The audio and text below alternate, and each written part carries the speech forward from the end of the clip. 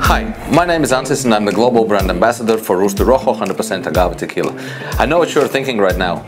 Check out the pour spout the guy has. Yeah, I know. We get a lot of compliments on this. But jokes aside, and let's get down to business and let me welcome you to the world of Rooster Rojo.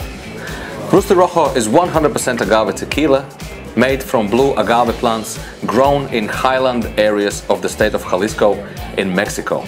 The area famous for its rich volcanic red soil.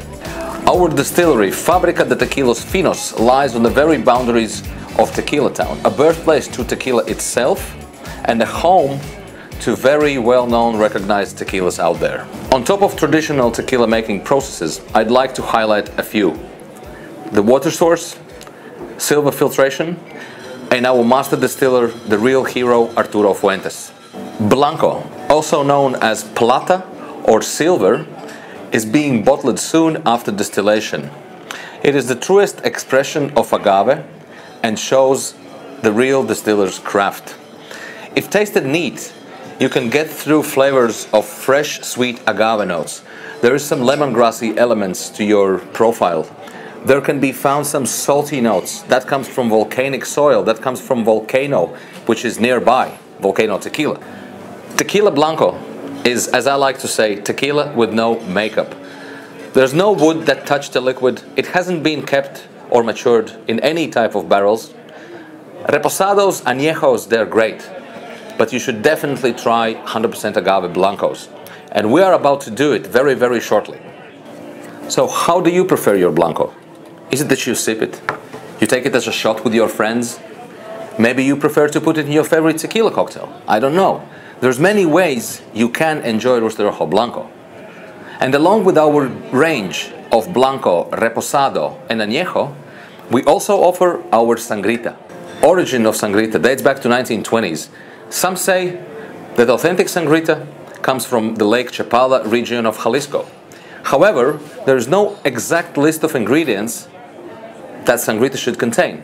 The key to a balanced Sangrita recipe can be found in the traditional Mexican fruit salad. It can be any or all of the following. It's tangerine, it's cucumber, it's onion, it's tomato, mangoes, papayas, oranges, different types of pepper, some spices, you name it. So, what goes into our sangrita? I'm not going to keep it a secret. Quite simple. It's pomegranate juice.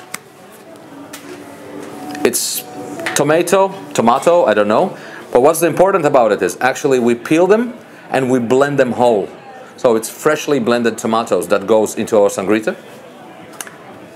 And you can evidence that if you take a closer look. There are some small tiny bits. That is tomato. There's also three types of different pepper. Fresh lime juice. Fresh orange juice. Some brown sugar and some other elements that balance the flavor of our original sangrita recipe. Traditionally, sangrita is served with tequila blanco. You pour tequila and sangrita into two separate shot glasses and you sip on both one after another. The basic conception of sangrita is to complement the flavor of 100% agave tequila. So let's get down on it and do some tasting. The way I mentioned already is blanco and sangrita into two shot glasses. But as you can tell, I have three in here. So we're about to prepare a cocktail which is called bandera. Bandera in Spanish means flag. So we are going to create some kind of a Mexican flag here. For that, I'll require freshly squeezed lime juice, which I have here in a tin.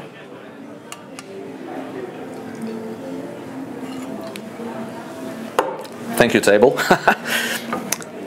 Rooster Rojo Blanco.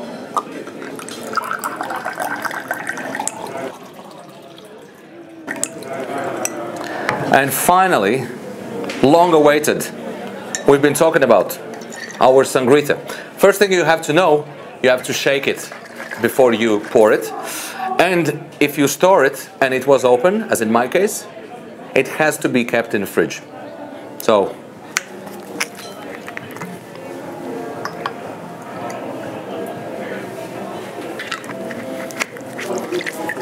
Ooh. What happens next? I'll tell you right now. We have come to the moment when we are going to try it. Follow me.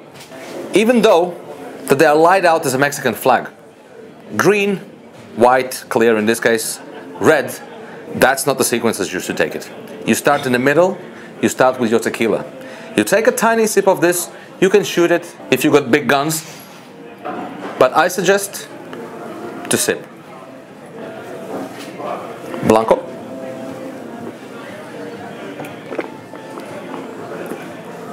Then you chase it with lime juice.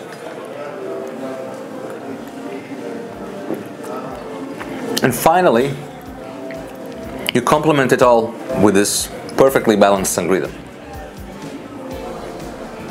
Wow, I must say, wow. You should definitely try it. But if you want to keep it simple and remain with just two of those, Blanco and Sangrita, then that's the way I suggest doing it. You take a tiny sip of your Blanco and don't swallow it straight away. Give it a swirl. Do it like for two seconds, keep it in your mouth. Introduce your palate, your taste buds to the aromas and flavors of this perfect agave spirit. Follow me, friends.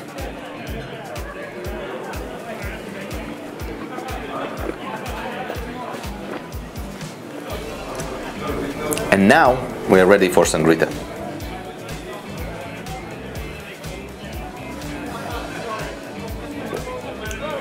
That's just an explosion of flavors. So, thank you very much for being with me, for being with us. Take care, folks. Take it easy, but most importantly, enjoy it responsibly. My name is Ansis. I'm the global ambassador for Rooster Rojo. See you around. Ciao.